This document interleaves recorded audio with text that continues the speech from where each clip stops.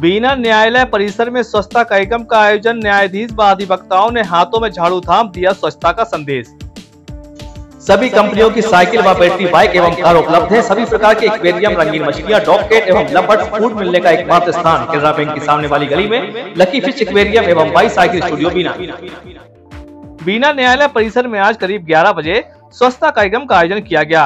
कार्यक्रम में Sharad Joshi J M F C व Meenakshi Sharma Joshi J M F C Bina एवं बड़ी संख्या में अधिवक्ता शामिल हुए।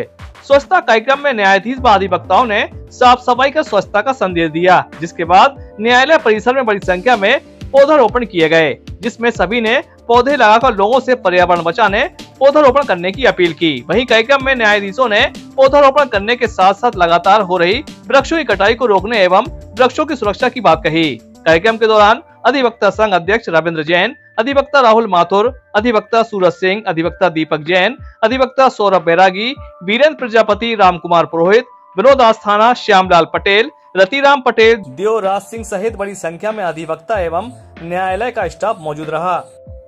माननीय उच्च न्यायालय के निर्देशन पर एवं माननीय प्रधान जिला एवं सत्य न्यायाधीश महोदय श्री एम के शर्मा साहब के मार्गदर्शन में आज सुरक्षा स्वच्छता अभियान प्रारंभ किया गया है।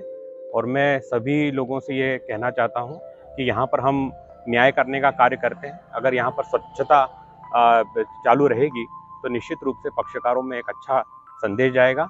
और मैं सभी जनता से ये निवेदन करना चाहता हूँ कि यह एक अभियान नहीं, एक ज़िम्मेदारी है और इसे स्वच्छता के रूप में हम हर जगह अपना सकते हैं और निश्चित रूप से ये हमारे लिए राष्ट्र निर्माण में एक बहुत सहायक चीज़ें साबित हो सकती है। धन्यवाद।